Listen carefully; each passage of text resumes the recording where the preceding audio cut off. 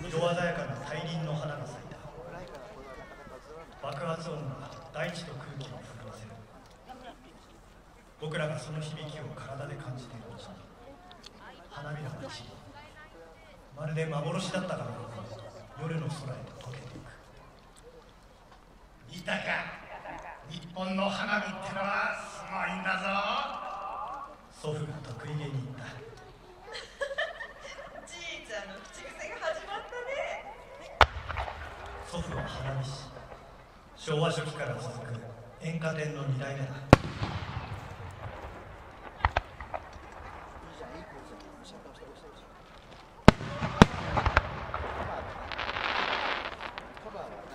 打ち上がった上空で一瞬止まるその瞬間に弾を開かせる色や形を考えたきれいでまん丸な円を描くわずか12秒の間に花は一斉に色を変化させ瞬間の芸術。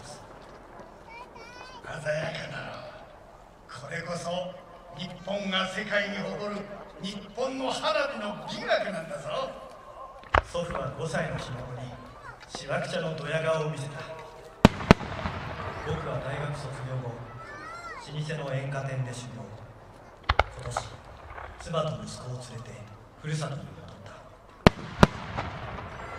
星が尾を引きながら広がり夜空を覆い尽くすように咲いた菊の花。今家族で見上げている。4代目となる今夜初めて自分が作った花。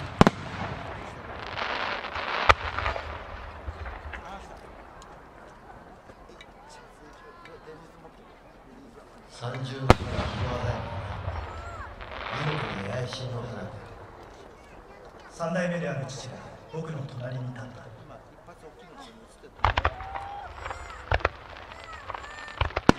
い光の手が丸いボタンの花をその光が観客の顔を赤く照らした誰もが皆子供のような表情を見せた面白いね光の点や線で夜の形を描くの片物花火が夜空に描いたお絵描き人は目を輝かせて見上げている一つの花火の中花火師のありったけの思いが入っている花火を見てる人にそれぞれの思いがあるのと同じだ。花火には思いが込められている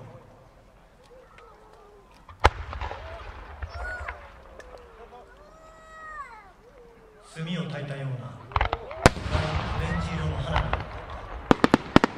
これは何というかな江戸時代から続いているんだぞ花火大会の様子がその時代当時病や疾病で多くの人が亡くなりその亡くなった人たちの魂を鎮めるために打ち上げられたのが始まりだ令和の時代に天国からでもよく見えるようにと夜空に大きな花を咲かせた花火には祈りが込められている上空で割れた花火玉から柳の枝が垂れ下がるように光が尾を引いて落ちていく。その余韻に人々が声を上げた。もともと鎮魂を目的とし夏の夜に涼みながらゆったりと花火を楽しんできた。日本人にとっては静寂さえも花火の一部だもうすぐだね。母が僕に微笑んだ。僕の花火が上がる番が近づいていた。早いもんだね。ちょっと前のあなたで子育てあったが確かにそうだ僕もついこの前まで子供だった気がする母に綿あめをねだり父の膝の上で花火を見そして花火師の人生なんて。あっという間だね花火みたいなもんだそうつぶやいた父の顔を僕は見つめた花火に照らされた父の顔は懸命に生きて。きた誇りに満ちた本当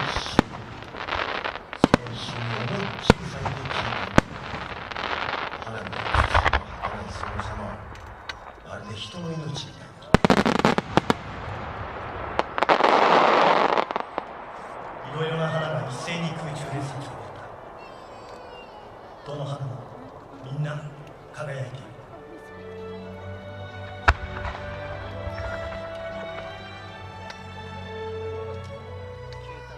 僕のありかけの思いを込めた花火の打ち上がった。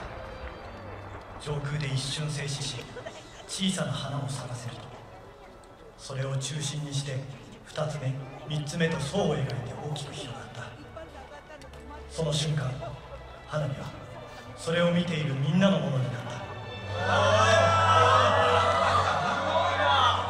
一つの花火は勇気に変わること。もある一発の花火が希望になること。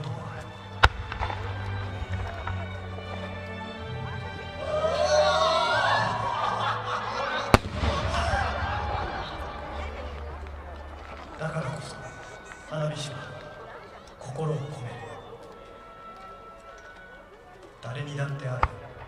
人生という物語。それぞれの物語を重ねて花火を見る。誰もがありったけの思いとともに。花火は形には残らない。だけど人の心に深く刻まれる。一瞬の壮大な物語。